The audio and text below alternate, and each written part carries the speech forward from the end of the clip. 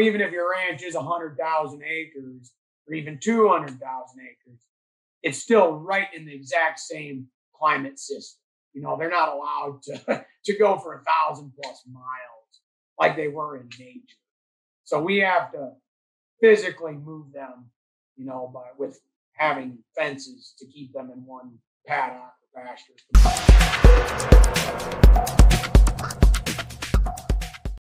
Awesome. Well, good to see you guys again. How you guys been? Good. Good to see you, Doc. Yeah. So for for the folks that don't know, you guys are, as I recall, in South Dakota, raising raising a bunch of bison. Is that is that still the case? I'm assuming it is. Yeah, we're still we're still we haven't, it. We haven't went broke yet. oh, yeah, that's good to hear. I'm glad to hear that. I'll try to try our best to keep you guys in business. Hey, let me just for those that aren't familiar with you guys, will you guys share your background real quick? Give us a give us a couple minutes on each each you guys so we know who we're talking to. Absolutely. Yep. I'm uh, Scott Assman. Um, we farm and ranch my family near Mission, South Dakota, on the south or south central South Dakota on the Rosebud Sioux Indian Reservation. I'm fourth generation. My boys will be fifth generation. Um, I have a two year old and a six month old now. I think last time we talked, I just had a one one year old. So um, two boys. I uh, farm and ranch with my mom and my dad, Mike and Darla Assman, and my wife, Caitlin. Um, we were always uh, raising beef cattle, Black Angus beef cattle, and then we transitioned to, into bison in 2016, uh, 2017. And then we've been farming organically since 1997. Um, and yeah, we uh, partnered up with the Heims, Alex his family, in late 2019 to start Dakota Pure Bison, where we uh, sell our ranch raised bison meat off both of our ranches directly to our uh, directly to the consumer. We are also wholesaling now, but I'll let Alex give his background. Uh, Alex was very crucial with him and his family when we got into the bison business uh, as far as advice and asking questions of what to do. So uh, that's kind of where the partnership started. Yeah, thank you guys. Uh, Alex Heim, our ranch is located near Wood, South Dakota. We're about 70 miles straight south of Pierre, which puts us just north of the Assmans, about 15 miles. Uh, the Heims got in the bison industry in 1967. My grandpa Ignatius Heim got the first animals. So we've had bison in our family for quite a few years.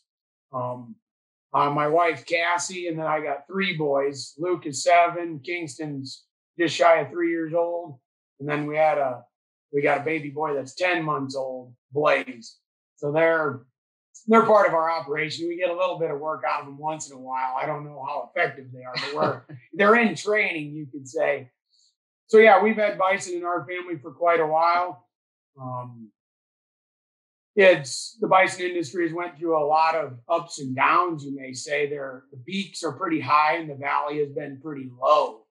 So it's been interesting to to experience that. Um, luckily most of that the the biggest valley i personally didn't get hit on too bad. More of my my father and some of my uncle and grandfather were. But is when it became a what I would say a very sustainable business is when people realized the quality of bison meat. You know, that is the end product um, that the consumers are are striving for, and that's what we're producing. So um, we've been real excited to, to have the Assmans. Um, we paired up with them and started Dakota Pure Bison. It's been a, a pleasure being partners with them and then being able to ship our our high quality bison meat throughout the country. Yes, 1967. That's the year I was born, so 55 years. So that's kind of a kind of an interesting.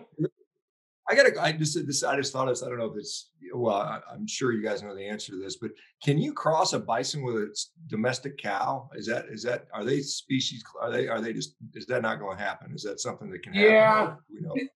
I think it was in the 80s. There was some of that going on, the Beefalo.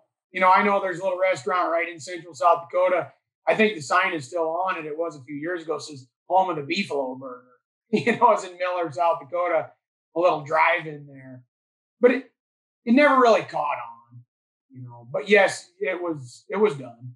yeah, it was done, it but now it's very looked down upon. Uh, you know, it's just not not natural and it's not a good cross.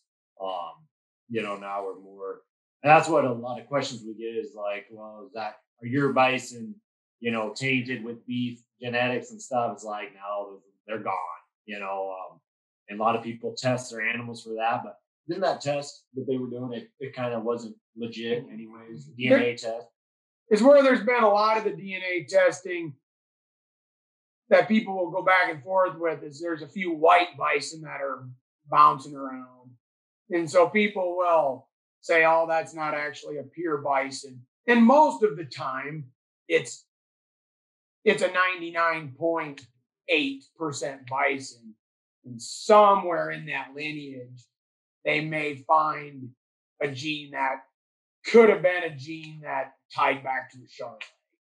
Um, but and then also it depends on the some of those tests. They've done different tests where one time they say this test is accurate, and then 10 years later they'll contradict. Yeah. Yeah. So I just just a couple things. I remember talking to you guys last time, I think it was, and there was some interesting things I just want to remind because people don't know this. So uh, the bison is actually a little bit smaller than, in many cases, some of the domestic cattle, if I'm not mistaken. And also the hump that they have is not a hump of fat, but it's bone, right? Is that, is that, is that, did I hear that right? Or am I remembering that correctly? Yes. Yep. So yeah, the hump is actually just their extended vertebrae. Obviously it has tendon and tissue connecting it. But, you know, that was my, I didn't know anything about bison until we started looking into it, you know, there in early 2016 when the beef cattle prices began to fall, and we were just tired of you know dealing with the labor of raising beef and the commodity market things like that. But um, I just thought it was a big, you know, hump of fat, but it actually is. They're just vertebrae extend out, and they're not really sure 100% what the reason is for it, but whatever it was through evolution, um, they are they were designed for this area. They're designed to run throughout, uh, you know, the you know the Midwest, West, Western United States, up into Canada, down into the northern side of Mexico. They are they are made for this area. They're made to thrive here. Um, so whatever reason it is, it, it's working. So yeah. I've heard people say like with that, even when they evolved to be able to to sweep through the snow to get down to vegetation if there was two, three, four foot of snow. That's another. That's that's yeah, like the beards too. They're big beards. They say that can be what the beards because they have these big beards, and if they will, if you get towards springtime, those beards can be rubbed off and rubbing, you know, grazing through the snow, um, getting down to the forage. So that is most likely the reason. I also heard one reason was and that big strong neck and everything so they could bust through ice to get to water. I don't know if that's that's just one person's idea, but you know, they they eat snow. You know, you can there's some guys they won't even have water tanks in during the winter time, you know, especially in northern Canada where it's about possible to keep water thawed. They just eat snow all winter and they do great. You know, they're just they're survivors. It's uh you know, they have three times as many hair follicles per square inch um, as your standard beef cow does. Their uh, their trachea is about as big around as your wrist, or even a little bit bigger. Where a beef animal is about as big around as your thumb, um, and that is for surface area. So as they suck in extremely cold temperatures, there's more surface area to warm that air up to body temperature before it reaches their lungs, so it doesn't cool down their bloodstream. Um, they actually did a, uh, one university did a test and they could not get the bison to go into hypothermia. They couldn't get their cold chamber down cold enough. They took a yearling beef animal, yearling bison animal. They took five yearling beef animals and one yearling bison animal. They couldn't get hypothermia to engage. So they really don't know how cold it has to be for a healthy animal to, to die. So it's, it's very, they're very interesting animals. They're very tough. They're very fast. Um, they're very dynamic, amazing animals. yeah, I, I, can tell. You, I was in Montana a couple weeks ago and it was minus twenty, and, and, I'm not suited for that. I can tell you that. I would, I would not. that would be my probably just chilling out there. Hey, let me ask you, what is the state? I mean, I know, you know, back late 1800s, you know, after we, we, we shot all the bison, you know, we got that number down into a few hundred. Where are we sitting today? I, I think I read somewhere about 400,000. What, what's the bison population like today? And what are you guys, what are you guys running up there? They've, they figure between four and 500,000. Um, it's hard to get an exact count where between these different nature conservancies and the reservations, um, you know, there's quite a few bison that do roam you know, the prairies of the reservation communities. And some of those numbers are are not known or tracked as um, precisely as maybe some of the private herds are. But to the best estimate, I'd say around 450,000. That's in the world. Is that number? That that's Canada, United States, Mexico, every that's the world. Yeah. Okay, I, I, guess I didn't realize there's a lot of bison, many bison in Mexico. But I mean, I understand their historical grazing area was pretty much all of that area. You know, in in years past, what you know um, and, and you contrast i know in the us we've got about 90 i don't know 93 95 million head of beef cattle or, or, you know i think or beef and dairy combined maybe something i know dairy's around 9 million but what is it about bison what are the advantages in your guys' mind? Well, why did you switch to bison over over cattle? I mean beef cattle i mean what's what's what, what did you find the advantage to be? Our uh, i guess our reasoning for doing it was you know, we already we were already kind of uh, there's several reasons, obviously, but one of the main reasons we already kind of disconnected from the commodity market and the exchange by the, doing the organic farming, and which that has its up and down ups and downs. You know, just like Alex said, the peaks and valleys. Um, we kind of wanted to get disconnected from that as well. You know, from the beef market because you can raise these animals, beef animals, go through all the work getting them, then you take them to town, and that day a report comes out from the USDA or a report comes out out of you know somebody from Chicago, the board goes down you just don't make any money that day. So we really got tired of that. Um, and also just the labor involved. Um, obviously, you the the initial costs were a lot higher for bison because you've got to have the correct facilities. You we had to you know retrofit all of our fences, build new fences. That upfront cost and just the cost of the animals was higher at that time. But once we do that, now it's me and about one other guy take care of all of our bison, um, and you know pretty much handle everything. And before we had three or four full time laborers, you know, for the calving and for feeding and and for everything else, mainly calving and treating the animals. You know, beef animals are constantly sick, where bison don't get sick very often, um, really at all. And uh, it's just been a total difference, like lifestyle change. You know, this time of year, I would not be sitting here talking to you. I would be calving out beef animals because this is about in this area. This is when guys usually start calving their first calf heifers, beef heifers. Like all my friends right now, they're staying up all night, bringing all their animals into heated barns. And to me, I used to do that. It wasn't that long ago. You just you didn't really sleep much this time of year. Um, and now it's just like I look at those guys, I feel bad. I used to feel bad. Now I'm just like, you guys are silly. You know, just there's a reason why bison calve in April and May. It's because the weather's nice and your calf might survive. You know, it's not natural to calve this time of year. That's just when we do it because that's what the market wants. Um, beef, the beef market. So yeah, it's it's totally different for us. I mean, we uh, it's a totally different, lot higher quality lifestyle. The bison do have a mind of their own, and so you have got to have patience. You got to practice good animal husbandry and obviously, with the rotational grazing stuff we do, that that's helped us immensely keeping those animals moving on a fresh fresh pasture. But uh, yeah, you know the I've had bison and, and beef around our family most of our lives, and uh, you know they're an amazing animal. They're a very majestic animal. So so that's great. You know people like that, but things also part of sustainable has to be economical and it has to factually economically work. And i stated earlier you know with a, a niche market there can be a higher peak and a lower value. But traditionally that is very connected to supply and demand. I mean a very direct supply and demand. So many traded commodities you know, it, it, it is looked at as a supply and demand, but there's so much, in my mind, fictitious stuff that's going on that can alter. You know, something happens. You know, why why does this market go up? We'll use corn. Why does corn go up 70 cents in the overnight trade, opens at 50 over? By the end of the day, it's 30 down. Like, did something factually happen?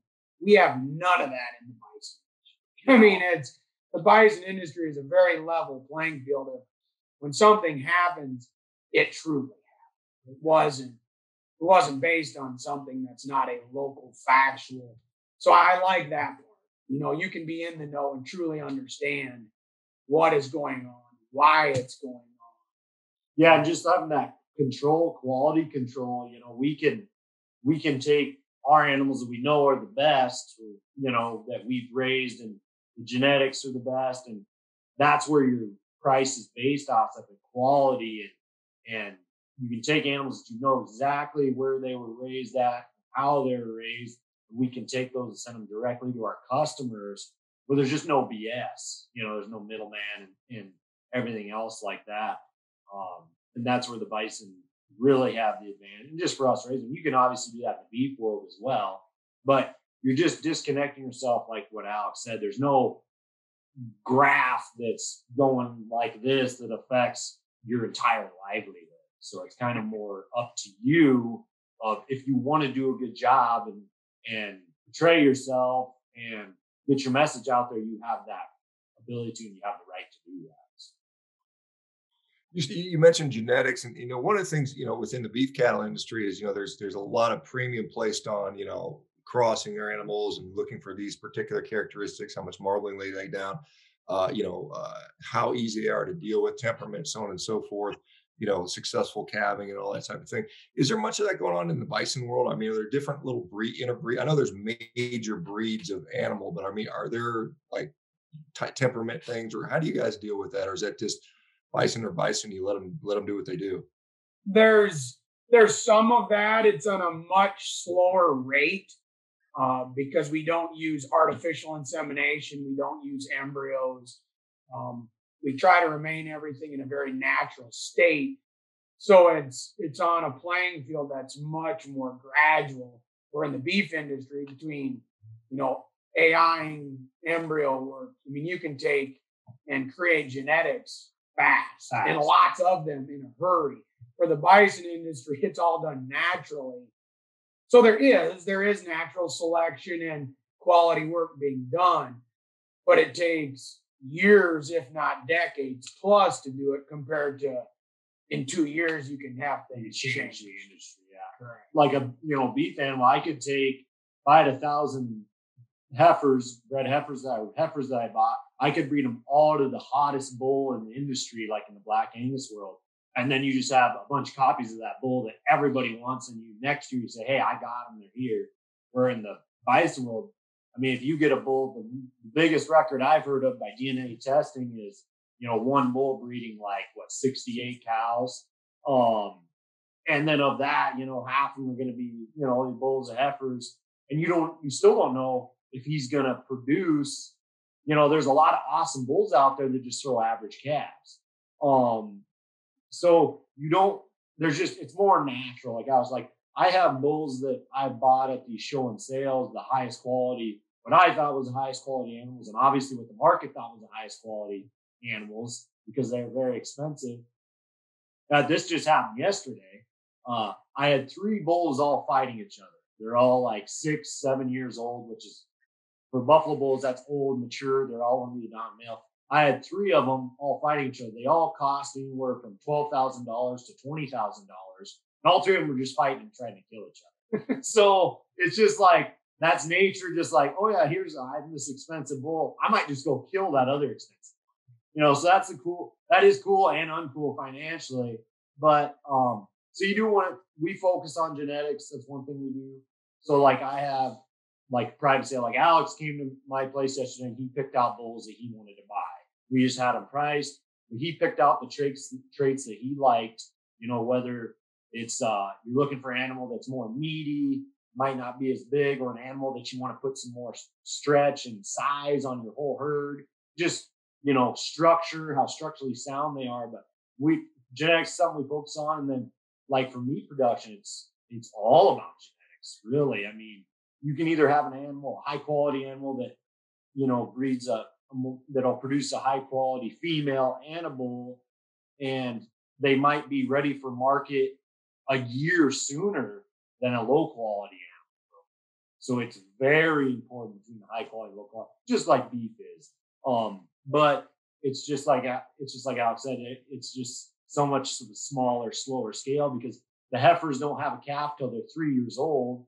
Well, then you have that calf isn't going to breed anything till he's two. You know, it's just such a longer term thing. But we we both try to focus on the high quality genetics because it's just going to get better and better every year your herd is. You know, selective breeding, what does well in your area, something that does well in our area won't do well in southern Oklahoma, you know, or or Texas or whatever. So you might want to pick for that more moderate animal the further south you go where the animals don't get as big because they don't have to fight as much snow. And guys in in Canada, they're going to want a bigger, framier animal because they're going to be grazing through four foot of snow. You know, it's just whatever you're into. Yeah, interesting. Let me let me ask you. I mean, you know, because when I see, uh, uh, and I guess I don't know. I guess I should know this, but I mean, buffalo. I mean, I don't see horns on them. I know the cattle they dehorn them. Uh, do, do, do do, do bison grow horns? I don't even know. I just I, I can't remember seeing or small ones maybe. And do no, they do. Bison, bison all have horns, males and females both. Um, the males have bigger horns, but they both have horns. They're born without them. They don't. Right. Yeah, well, that would be uncomfortable for the female to deliver an animal with horns, I would imagine. Yeah. So I mean, you know, but I, you don't see the big like the longhorn cattle with the giant horns. Uh, they don't grow like the giants because you know you guys don't mess with their horns, do you? I mean, you leave them alone, I suppose, right? You leave them, yeah. They it's part of their identity. Those horns. Um, they uh, you know, uh, an old boss cow with big old horns, she's gonna be first the water tank versus a smaller cow with uh, smaller horns. So it's very it's part of their identity. They're they're their weapons. It's it's what they use to to figure out the pecking order of the entire herd. You know, it's it's it's very important. Yeah, one other thing I hear about, you know, you know, obviously AI is very, very big in, in both the, the beef and cat in the in the dairy industry. And one of the things they say is because you know these animals, when they mate naturally, there's a lot of injuries. You know, there's bulling injuries. Is that a is that a feature of bison? Do you have to worry about the bulls breaking the dang, you know, uh, heifer's back, or how does that work? No, as a rule, that's on the female side. You know, you can have some bulls. It's less common in bison than I would say in beef.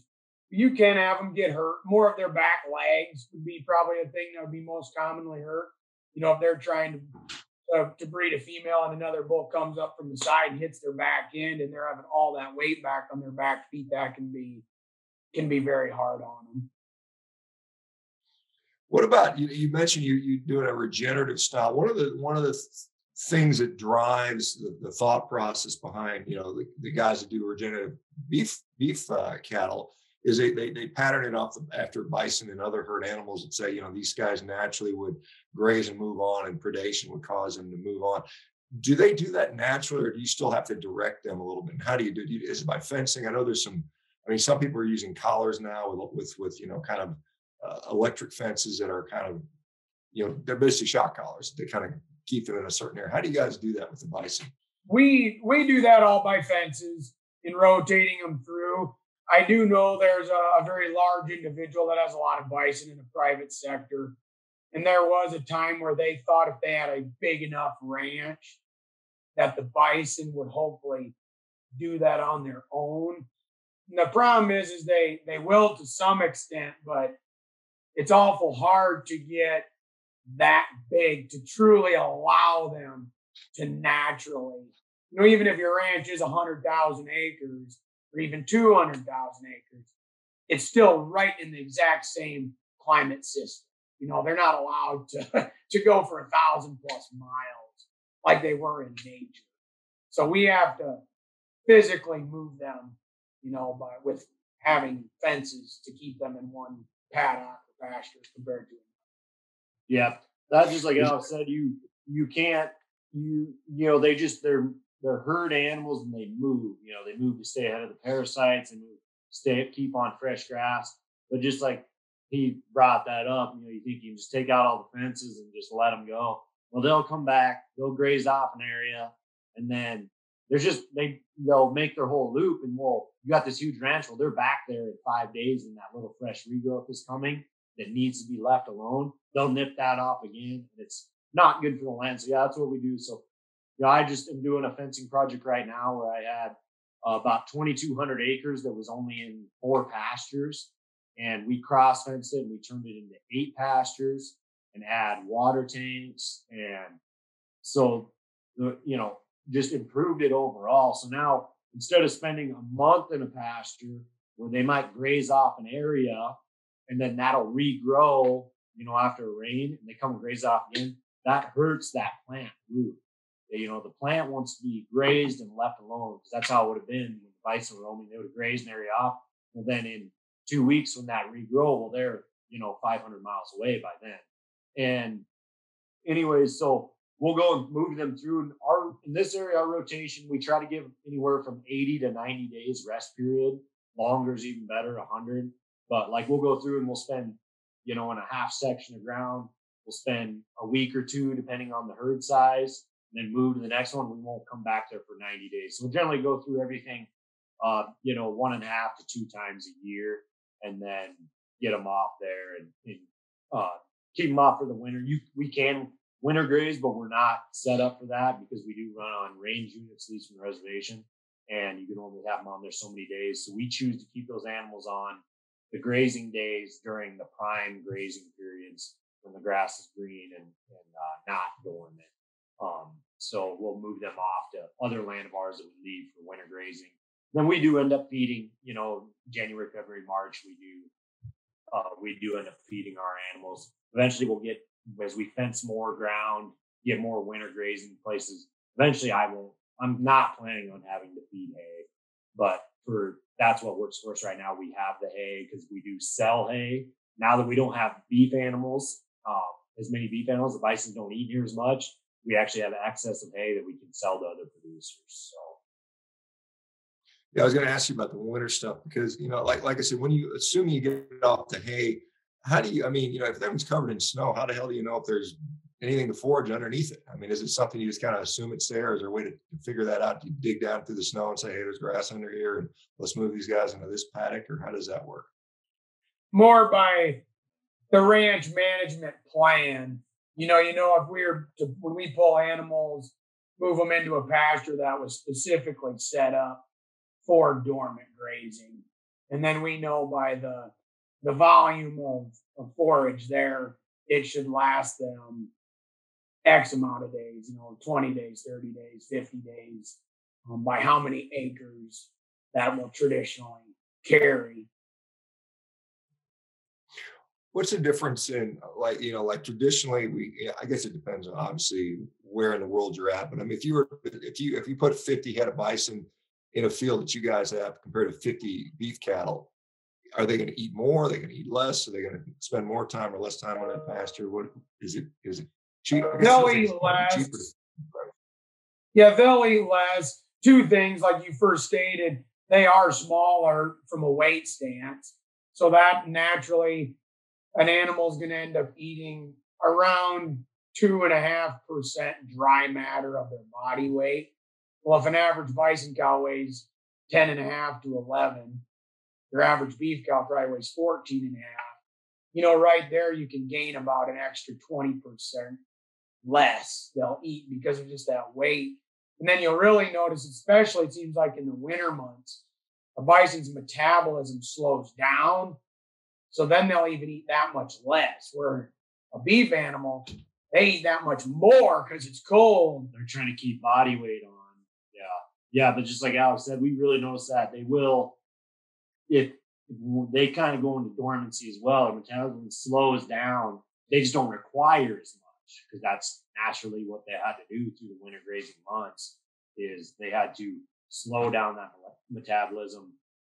And it's actually believed that they create their own urea somewhat in the uh, through the rumen process. They can create some of their own protein um, when needed. Their body can use those stores uh, in certain ways. I I don't know if that's true. I heard that. I know it was a study done, but that's they uh they they're survivors. What's the difference, you know, in, in, in, the meat quality between or meat, the differences in, in the meat, you know, I mean, obviously, I mean, most people have always, you know, traditionally going back since the 80s, I heard you know, bison meat's a little bit leaner and therefore it's healthier for you. What can we say about bison meat? I, you know, I mean, yes, it's probably leaner, but are there other like different factors we find in bison yep. meat versus beef? Beef. Yep. So bison, uh, they are leaner, um, leaner, less fat um, than beef it is, you know, it could be. There's, they're doing some more studies, but as far as like micronutrient dense, it could be some of the most micro micronutrient dense foods on earth. You know, as far as red meat goes, I think there's maybe some fish, something they think might be higher in micronutrients, but bison could have some of the highest, especially get into the organ meats and things like that. Um, overall, you take a young prime animal, um, and if you feed it to someone who thinks they're getting a, they might be thinking they're getting maybe some lean beef or something like that. Some of the time they can't tell the difference unless they really know. But it's not like an elk or a deer. It is not like a game meat. Obviously, unless you get an old, old animal that's, you know, just very old, they get very lean. But where we just use our young prime animals, um, that that's that's the difference. And one of the biggest differences, you know, it's more protein, uh, less fat than beef, and higher micronutrients. I think is probably one of the biggest outliers because it is a uh, it is a wild, you know, a wild game type, but it's not as people are expecting elk when they get it and they eat it and they're like, whoa, this is you know some it's its own thing, it's something totally different. So, but it's definitely more similar to beef, especially we see in the burger. So we do our ninety percent lean burger and you can eat 90% lean beef burger and it's not even the same thing. There's something about the fat content that is much cleaner. You get done eating it, you feel good. You don't have that weight to you. Um, and you don't have that film that gets in the outside of your mouth. There's something about the fat that is a lot more natural and it leaves you with a lot cleaner feel when you're done eating. You never get done eating a, a bison steak or a bison burger. And you're just like, oh man, what did I just do? There's none of that. That's the burger is honestly probably one of the things that sticks out to our customers over beef more than anything because they can put it into whatever food dish they're using and there's the, not the grease the the splatter and the, the smell that you get from that beef fat. So like i just grabbed one of a, a nutritional you know what your guy can find online. Yeah. But like compared to a, a beef you know in grams of fat beef is four to five times higher, you know, in another per serving. Per serving, all on. I don't know if a guy can see, see that exactly or not, but it's um something that a guy can. It's online as well. Yeah, online. I don't know if that was clear, but there's different tables that people when they see that they're very amazed. You know, from the low how low it is in fat and how low it is in calories higher higher in iron, higher in you know your vitamin B12. Z. Um, so it's it all it also uh, bison is for whatever reason bison is non-allergenic. We have a few different people that can't eat red meat, but can eat bison meat, and they're 100% fine. I think that in itself is there's something about that is very amazing. It's very amazing. Like, and that's legit. We, you know, was it cousin of yours? No, no, yeah, no. A couple different yeah. people that I I don't even know, but there's acquaintances that that's what they'll get. And I think it was there was a college that had, I don't know if it was Pennsylvania. One of the colleges did do a research project on it, and they can explain it more. But I I don't have information. Yeah, one of one of the things you know when you pull up the, when you pull up the nutritional comparison between uh, bison and beef, and I think there are a few others in there. I couldn't cat, I wasn't paying attention to them, but the, the cholesterol numbers are pretty much similar, and it's kind of interesting because most people would associate higher fat animal with higher cholesterol. But the cholesterol is actually in the muscle itself. I think it's in the cell membranes, and so you have a more cellular, you know, more dense cellular product with that. I was I was, I was interested to find that ribeye had less cholesterol than sirloin, which surprised me. I didn't, I, you know, I've been doing this for so many years. And I just learned that out, you know, a few months ago. So I thought that was interesting. And, I, and cholesterol has now been deemed not a not a nutrient of concern it's you know cholesterol has been undemonized, whereas saturated fat, you still people see people complaining about that, and that's kind of one of those things that's in my mind debatable at least.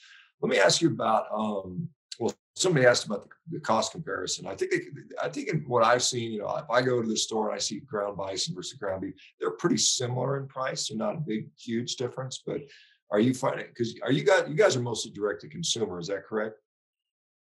We're growing in the wholesale market as well. Um, you know, that takes another kind of another level to be able to do that. So Dakota Pure Bison is really trying to do that direct to consumer, but we're also growing that wholesale account as well. And the price right now, you are are very accurate. I mean, there's times where we'll find beef being higher than bison. And I think we'll probably you probably will see bison. Maybe it'll just maintain that even threshold, but as a rule, bison and it should cost more. It should cost. It should cost more because of some of the the market trends that are going on with beef. It's caught up to the bison price, and the bison price is maintaining that that threshold at the moment, but um, it will be going up. The price, our prices across the board, no matter what you're talking about, are going up. So we have to go up as well. But because we are not such a traded commodity, we're trying to hold that threshold as tight as we can. Yeah, we're you know that's that is surprising. We'll get pictures of that of beef and, and bison in the grocery store, and especially in the big box stores. It's for me, it's tough to believe because um you know bison is so much more limited than beef. It's just not a trade commodity, but marketers they can they can do things manipulate the market in the beef industry. But like for us, we just get I'm getting calls constantly. Like the boxes we ship our product out in, they went up ten percent, and they go up four percent, and FedEx calls and say, hey, our shipping prices will go up 10%, 4%. So we will have to come up. We're trying to keep it as close as we can. Um, but you know, our labor's going up, uh, everything's going up for us. So we do need to, we will have to up our prices some, but it is wild to see beef catching up with bison. So yeah, I mean the, the fuel price, you know, the fuel prices alone going up are just to impact just about every single industry out there. And then we, t- you know, and, and, you guys probably don't deal much with fertilizer. Maybe you do, but I know fertilizer prices are going up significantly, and you know everything's going up, and so you can't expect it not to affect the food. When you look at the inflation rates, I think I saw that they're claiming 7.9 percent, but you know if you look at some of the things affect, I think beef prices are up something like I think 25 percent or something like that, which is which is enormous. What about um? So you, you talk about some of the market factors that affect beef, and obviously fuel is fuel, and you, guys gotta um, you got to use fuel somehow in transporting and shipping and all that stuff costs. But as far as you know, one of the one of the concerns I hear from a lot of you know beef cattle producers is you know they're they're getting kind of the short end of the stick when it comes to you know the the, the prices they're giving. You know the, the, the packing industry is kind of like you said, it fluctuates wildly. Are you guys relatively insulated from that? Is that something that you, I guess you guys kind of alluded to that, but is that, does that affect you guys at all? Is there anything that affects you with that? Or is it just kind of other things that do, maybe the weather? I guess obviously weather is always going to be an impact on, you know, ranching and farming, I suppose. Across the board, you know, everything is just affecting you. you know, I mean, like you said, from just when fuel goes up, right? It affects everything. Everything. you know, um, I know to get the box, to get the foam, to get the employee, to get you know the hat, the T-shirt, the um, the wire, the post. Uh, that know. is a big thing. Uh, I just bought some more posts to fence some more ground for the bison so we can graze more. And they were what five ninety, five, five and a half, five fifty per post, five dollars and fifty cents per post, and now they're seven dollars and five cents a post. Yeah, twenty seven percent. Just twenty seven percent, and that was that's been a year and a half. Um, so it's just been brutal that way. Um, you kick yourself for not buying more back then, but you can't just have all your money tied up in something that you're not ready to put in yet. You know, for land that you might have access to. So that's just something you got to deal with. But it's got to, it it does affect everything. I mean, just that little, just that one little thing, it changes your bottom line on on all the way to that end to the end producer. It does. So um Uh, the thing that we can't insulate ourselves from is from just having to take that price from the beef packer. Um, those guys just decide what it's going to be, and beef guys have no option. Um, obviously, we work with processor. We have a great relationship with our processor. Um, so we do have some insulation there, but he's got the same issues we do. He's got to pay his help more. He's got to pay more for boxes. He's got to pay more for um, packaging materials, everything. So that cost will come on to us, but it's just we know we're going to have a spot to go with our animals. For us, it's very worth it. It's always going to be a high quality product. Our processor, he is uh, does an amazing job with our animals, and uh, you know he knows more than we'll ever know. He's forgotten more than we'll ever know. So he he takes care of us that way. Um, but he's got to make money as well. He's got to you know feed his workers. He's got to you know feed his family. So one of the hardest things Yeah, the price. If the price goes up, at least we can do something. You know, if you got to bump the price 10 cents a pound, you, you bump it. But if you can't get it, that's hard. Like the label, you know, have a label on a stick or a steak or whatever. And all of a sudden you can usually get them in six to eight weeks and then they tell you six months. yeah, You know, that's that's a real problem. Yeah, I was going to wonder. You know, a lot of a lot of things I hear about, like you know, a lot of the beef producers, you know, they get their cattle fat at a certain age, and and then you know, if, if the prices are low, they're kind of compelled to sell because if they keep them in the in the lot in the feed lot, they got to keep paying to feed them, and it gets expensive, particularly as feed prices keep going up and up. It seems like. So you guys are on grass for the most part, unless you know, I guess you got a little hay in the in the winter season. But do you have a little bit more like leeway? Like, I mean, I, well, I guess it doesn't. I mean, the price isn't fixed by Tyson or anything like that. But I mean, I guess you would have the. I mean, is there like a critical time once they hit this weight at this age? We got to we got to bring them to slaughter. Do you have a few months to just kind of I can wait until something else has happened?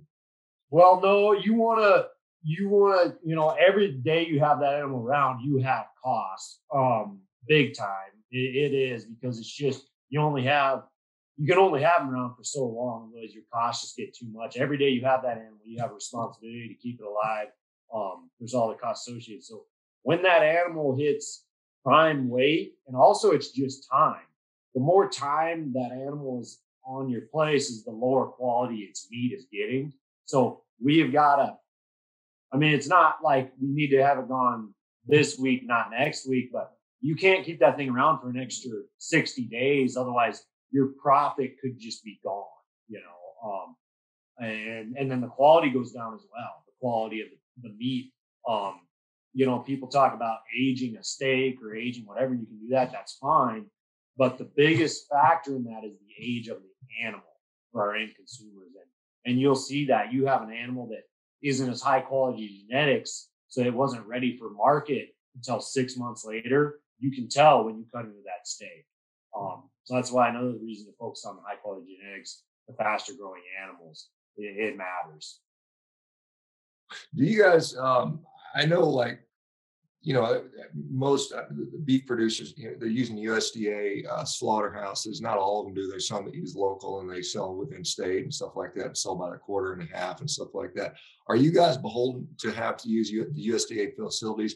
And do the beef slaughterhouses process the, the, bison slaughter? Are they are they interchangeable? Because I know some are just set up for a certain weight, and they you know if the cow's too big, they can't process them. They got to go to a special processor in Wisconsin or something like that if they have these super big cows.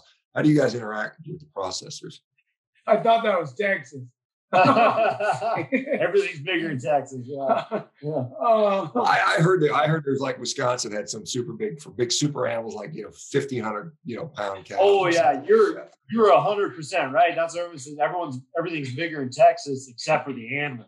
All the animals are smaller in Texas because it's so hot down there and they have no snow to graze through. So it's like, why would I be a big old hairy beast when it's 110 degrees all the time? So like we go down there and their deer down there look like our golden retrievers out here. You know, their deer are so small just because there's no reason to be big. You know, you don't have no snow to fight through or anything. So we do, yeah, the plants can be interchangeable. Um, bison are a non amenable species. So when they go through a USDA inspected facility, that facility has to pay that USDA inspector to be there for that time. The time that they're doing bison, those inspectors are paid privately, where with beef, those inspectors are paid by the, the federal taxpayer. So that's one one thing that is different about that. Um, if you're at a USDA facility, you will have to pay that additional. It's usually around it can vary, but from thirty to sixty dollars a head, depending on the scale of the plant. And and and for instance, um, like if I get buffalo from South Dakota, obviously it's a uh, you know it's it's interstate for me because I'm out here now in Washington State. Does that require USDA uh, facility to, to transfer that with bison, or can you ship interstate without USDA now?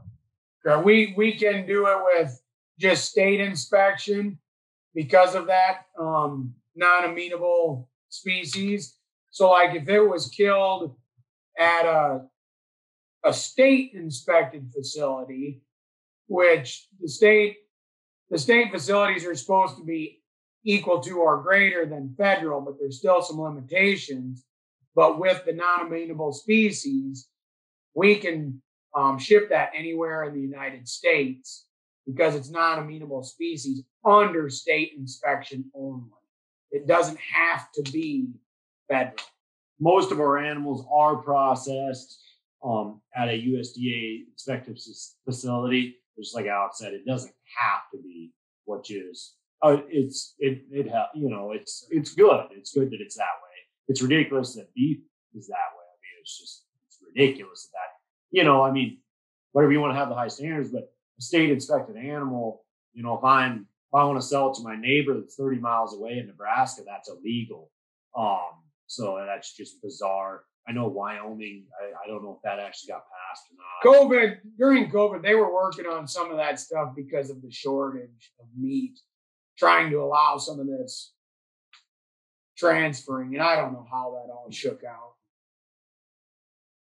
Yeah, I know there's a law. I can't remember the name of the law that got passed in Wyoming, but I think it did allow for what you guys mentioned. And uh, I can't remember. I think the, it's kind of funny. I mean, I think there was something, some kind of funny business going on that the guy that actually sponsored the bill in Wyoming uh, was defeated in reelection because some people from the beef industry didn't like it and they paid for his, his opponent because they, they they like the status quo. They like you know the Packers controlling the beef market. They don't like the they don't like the uh, challenge to that. I suppose. I mean, that's what I heard. I don't know how much truth is, is in that, but I suspect it might be. Um, what you know, as far as um, well, your your your business. Are you guys growing in herd size and stuff like that? Is that is that something you guys have been actively trying to do? Do you have the land to do that? What is a what does a long term look like for Dakota Pure Bison? Are you guys doubling your herd size over the next ten years, or what? What's the what's the plan for you guys? Yeah, we're trying to grow. You know, lamb is land is a very limiting factor. So with that land base, you can only run so many animal units, um, and real estate prices continue to to go up. So we are. I mean, I think we're two separate operations, but both of us are always looking to grow and and have had some growth, whether it's purchased land or rented land. Um, so we are growing um, in some volume, in some capacity. So hopefully we can also continue to grow our meat sales as well. Are you guys are you guys like maxed out on the number of cat uh, number not cat number of bison head you can put on the what you have on acreage wise right now? Is that pretty much? Yeah, right now, yep. I'm I'm maxed out, and I actually am, am down a few animals this year just because of the drought over the last couple years. I didn't want to push push my grass, so I didn't add that many replacement heifers this year as a uh, as you normally would, just so that you know we we can manage that through that better. Um, last thing you want to do is, oh yeah, I'm sure it'll rain this year. It didn't rain the last two. You, that's not the not the risk we're willing to take. So I'm actually down about 25 bred cows this year from was last year. I think I'm running about 840, and last year I think it was a little over 865 bred cows on my place. Um, and then also we'll have some yearlings running uh, on a satellite satellite operation. But Um, yeah, we're constantly looking to grow. Um, for us, especially with organic farming, we're looking. I'm, you know, the biggest restriction is just the cost of fence and development of water, but grazing more of our farmed acres as well. That's something I'm going to grow on this year more and years continued, so I can graze all of our, you know, farmed acres, graze cover crop, graze, graze crop residue. That's something we did with beef cattle, but you know, you can't just go string up a one wire fence and run your buffalo out there like we could with our beef. So that's been a, a limiting factor for us. You got to have a good fence. You got to be a good neighbor. Um, that is one of the issues with the bison industry is everyone wants to have some bison. Well, they they buy them, they drop them off their place, and they they can't handle them. They can't manage them because they don't have the, enough fence bill. Um, so that is you got to have the land base. Got to be continuous land, and you got to have good fence, good facilities, good corrals. So. So you have to put up basically essentially permanent permanent fencing for each pasture that, that you know, not just a one one wire electric fence. It'll just bust through that pretty much. Is that fair to say? Yeah, you can you can get by with some stuff, like especially just on your cross fences, um, for cutting it up so they can graze tighter areas. There's people that do do that, do the one wire bands, you know, like a uh, a rope or whatever, and it will work 95% of the time. Um, you know, but for a for a border fence, it's got to work 100% of the time. So we just do, you know, just barbed wire. Um, I've even done some barbed wire with a hot wire offset. I know Alex has done some of that. Uh, you know, just give them a little buzz when they get close to it. Then if you get them trained right, that's fine. But then bison are so ornery and they're so, you know, they're so hurt. You know, they have such a social dynamic that if two bulls get alongside the fence, one bull might try to push the other bull through the fence just to prove a point to them that I'm tougher than you. So that's when everything kind of goes out the window. Then your your awesome little hot wire that you're going to use to, you know, it's just gone. You know, so that's where you got to have a fence that is a barrier for them. Um, and the wildlife can still go. That's the question we get. It's like, oh, your deer can't get out. It's like, no, the deer jump right over that. That's no problem, you know. And then the antelope, they can go underneath it. You put the hot, bottom wire high enough, the antelope can go underneath it, and the deer can jump over the top. You know, it's only about a five foot. So it's the uh, one one thing that's also very different the bison from a beef is if they do get out, they just you know a, a nice steady pace and they just go. You know, usually if a beef animal was to get out, because there's beef cows out all the time. yeah, beef cows are out, especially in this country. They're just out. You know, they're people just, you know, because you can just go get them back in. That's what Alex they, they, to.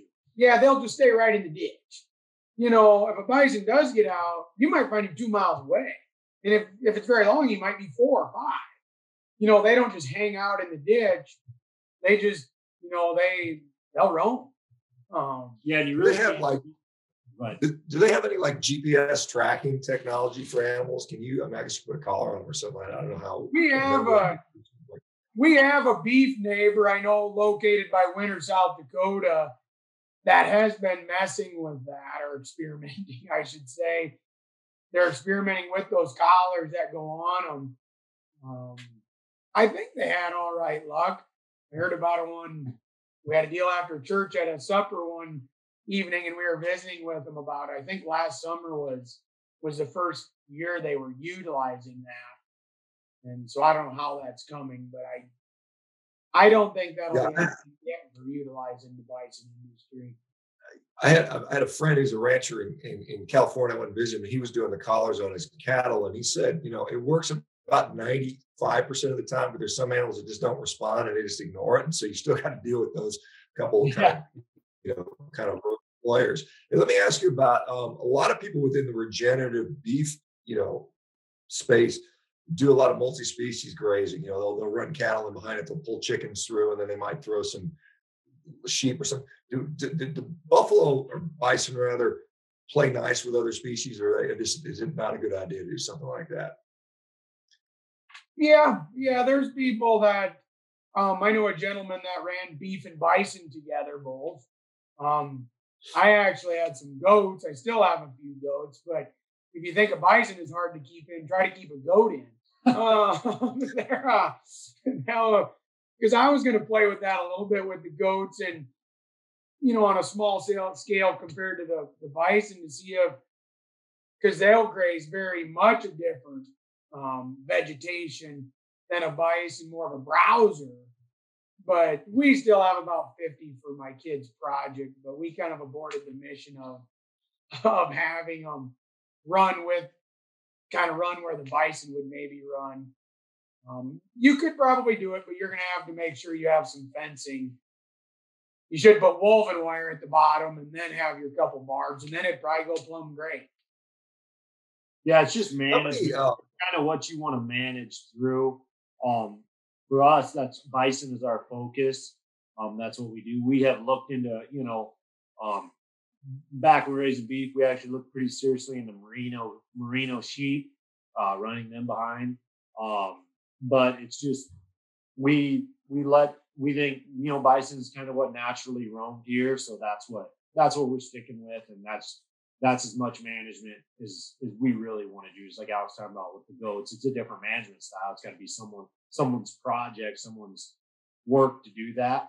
And I think that's awesome when guys do that. That's that's pretty cool. We like get in, graze it off, get everything off there for 90 to 100 days, let that land recover and regrow. You know, here in our area, we are we have warm season and cool season grasses, um, tall, short grasses. So the different times of the year you can hit it, the animals will find the the higher quality forage at a certain time. They'll utilize it then, they'll leave some for later. You know, um, it, it works pretty well. What about um, the one thing to bring up with that is the one thing different with bison, you can't graze sheep with them. Um, they actually they can be a carrier of this malignant catarrhal fever known as MCF, and that will sheep can be sheep are a carrier for it, and they'll actually kill a bison. Um, goats goats as a rule are safe. Um, I know people that have goats, but sheep are very are very much a large concern to keep sheep away from your bison. We had a neighbor that got a sheep as a pet, and we ended up having she we had to sit down and talk with her. And like, you know, this is a problem. We talked about this. Was it the what's the fever? MCF, malignant catarrhal MCF. Fever. We talked to her about her, and she just looked me dead in the eyes. And she says, "So you're telling me I have to get rid of my sheep?" And I was like. Yeah, I said, I'll buy you a goat. I'll get you whatever you a donkey. I don't care. You can't have a sheep. And she looked me dead in the eyes. and She said, Well, that's my pet. And I just said, I don't know what to tell you, man. But we're gonna get along now and fine and everything. She ended up getting a, a mini donkey to replace the sheep. So we're good there. Interesting. Um, what about predation? Do you guys have trouble with, uh, you know, uh, I don't know, you know, wolf or bear or anything out there going after the bison? Are they pretty resistant to predation? Yeah, commonly coyotes are are the thing that would be in our area. We don't really know wolves here to speak of. Bears, none. Um, coyotes are very, very great in volume and are a huge concern to the beef producers and sheep and sheep. And but with the bison, they're very protective. There's no issue there. And then let me ask you. I mean, in the U.S., there's roughly about three quarters of a million beef cattle ranchers. You know, most of them have about 40, 50 head. What is it? How many bison ranches are there in the U.S.? Do you know, have an idea how many? How many you guys? Is there an organization you guys are members of? Is there kind of like a, you know, is there, is there some sort of organization for bison ranchers? And how many how many ranches do you think there are? There's uh, multiple bison, uh, you know, associations. There's the National Bison Association, the NBA. Uh, that's you know obviously the entire United you know, the United States and also Canada. There's members that get involved. We don't know the numbers. We have our local association, um, which is Dakota Territory Bison Buffalo Association, um, and we really don't know the numbers on that. It's uh, that's really hard to pin down. You know, there there's really not an incentive to find out. You know, there's no there's no incentive to find out because you know the big package stuff don't want to know how many ranches are out there and to tell a story. The beef check off doesn't have you know, we don't have any of that for bison. We have associations which we are active in. Alex is actually a member of uh, the Dakota Territory Bison Association, um, and it's uh, no, I mean we that's where a lot of our sales are at at these association conferences. um, like our show and sales and, and things like that. Um, that's where you know the bison industry is a family. It is, and that's where everyone gets together and we you know have our celebrate celebrations and and uh, go over where the industry's headed. So. And do you find that um, um, you get a lot of a lot of beef producers asking you guys about converting over to bison? Is that something you guys you mm. guys run into very often?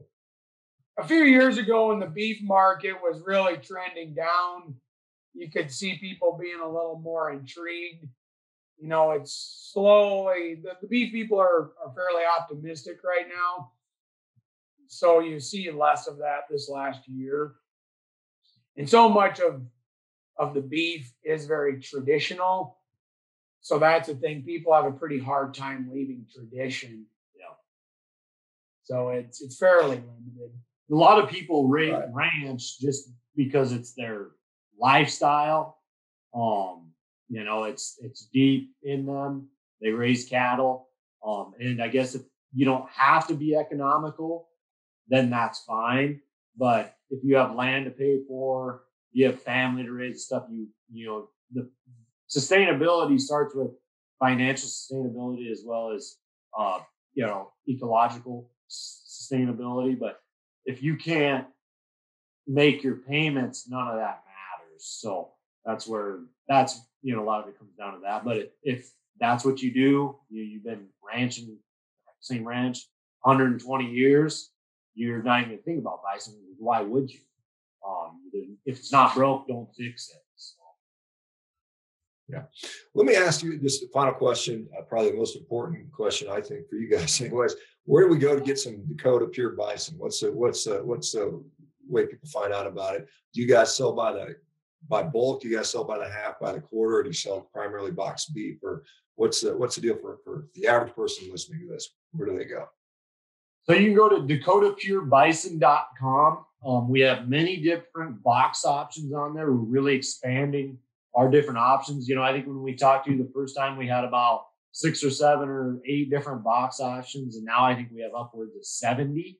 Um, so obviously the best value is buying either an eighth or a quarter or a half of an animal. Um, you know, like it, it's our quarter is called the Pioneer package, and our eighth is called the Stewardship package. But we sell all the way down to where you can get a hot dog and a brat and a breakfast sausage in a box. Um, you get five pounds of burger. We are now selling meat sticks, which has been a big hit. Um, four ounce meat sticks. Um, they are really they're 100% bison, which is very rare to have 100% bison meat stick. Most people add pork, beef fat. The rest of ours are 100%. We've had awesome reviews on those. Um, we are very active on social media, Instagram and Facebook. Um, and also we have a YouTube channel that um, we're, we're not active on, but we have a lot of YouTubers come to our places and do videos. So those are all up there. Um, we keep everyone updated on through Instagram and, and yeah, we're just, you know, looking to grow. Um, people find that having that shipped directly to your door for free, we're all free shipping, 100% free shipping. Um, they just gets rid of that burden of worrying about hey, my freezer's empty. Where do I go to find some frozen meat or uh, a snack stick that's actually good for you? And you actually know you're not, you know, the snack stick industry is very bizarre, you know, to me because it's just, it's just mar- it's just like beef. It's just marketing agencies that can go and buy product and buy trim and slap a fancy label on it, and sell it to you with, with. They try to come up with a story, but um, they're actually not getting anything. You're, you're, you know, it's somebody who six years ago was selling, you know, t-shirts and now they see bison is trending on the, you know, on social media. So they switched to selling bison where, you know, this is what we do every day. This is what our families do. Um, uh, this, this is what we do. We, we raise bison. Um, so, uh, it, it's, and our customers, we just can't thank them enough. We have awesome customers. They're just fully in the game. Um, I think we have some crossover between uh, uh, some of your followers and ours, so we appreciate that, Doc. You know, a lot uh, for your, you know, taking interest in our project. I guess so. We uh, really thank you for that. Yeah, you know, and I feel like I said, I, I always whenever I get somebody's feeding me, you know, I mean, either individually or collectively, somebody's feeding us. I don't think you guys get thanked enough. And so I just want to extend. And I sure I speak for the entire community. Thank you guys for doing what you do because it ain't easy. I mean, you know, I, I just think about God, you know, it's like, you know, it's cold up there and it's cold in the wintertime. Those animals don't care. They're not taking the day off. So you don't get to either. And, and you know, I, I really appreciate what you guys do. So keep up the good work. And I wish you the best. Anything I can do or we can do as a community to support you guys you know, I'm sure we're, we're all going to we're all going to do that because you know you, you keep putting out a good product and uh, you know it, it, it, sells itself for, the most part. Except you know you got people trying to tell us that you know fake meat is going to be. yeah, you keep hold you keep hold the line on that side of things, Doc. I uh, I really enjoy what you you put out there, and uh, we've been uh, last few days I've been brushing up on some of the podcasts you do with, with people, and you're very uh I am surprised. Like people are surprised when they hear your podcast because how like level-headed and open-minded you are to, you know, pe- people taking you know taking control of their health, and then they see, you know, like the fake meat stuff, and you're see you. That's where you draw the line, and that's where I like where you draw the line because that is total garbage. It's absolutely garbage. So I, I like that you do that. It just because you're so matter of fact about it, and you're so level-headed about it. People get exposed to that, and they realize, oh, this isn't just some crazy guy that's eating meat or eating raw meat and he's just a savage. You know, you're so level headed. So I appreciate you doing what you've done over the past four or five years. It's really helped. You know, there should be the beef checkoff should have you on every commercial, you know, instead of just the, the fakeness they put out there. So yeah, I've had I've had some of that feedback that the beef checkoff is not doing enough for the beef industry. And you know, I mean, honestly, when I look about it, and, and you know, there may be some obviously they're doing some lobbying behind the scenes, but to the public's eye, where's the campaign saying how good and healthy meat is? I mean, my gosh, I shouldn't have to be, you know, fighting to get funding to do studies on on on meat-based diets, and I am, and, and it's just kind of crazy uh, because I know the beef checkoff takes in, you know, 30, 50 million dollars a year uh, from the from the checkoff money, and and it's just kind of like, you know, I shouldn't be have I shouldn't have to do this, but you know, I, I care about my kids' future and I, I, like eating, you know, having access to good meat, and I think we all do. And so I guess somebody's got to do it. So anyway, guys, thank you so much for being here. Um, look forward to seeing you guys grow, and anything else we can do, let me know. I'm happy to do that. Um, you guys have a great day. I guess get out, get back there, and grow some more, grow some more bison, and uh, we'll try to eat them. All right, guys. Thank you so much. the rest of you guys, I'll see you guys tomorrow. Thanks, everybody. Thanks, Scott, Doc. Have a great day. Thank you, Doc. Bye bye now.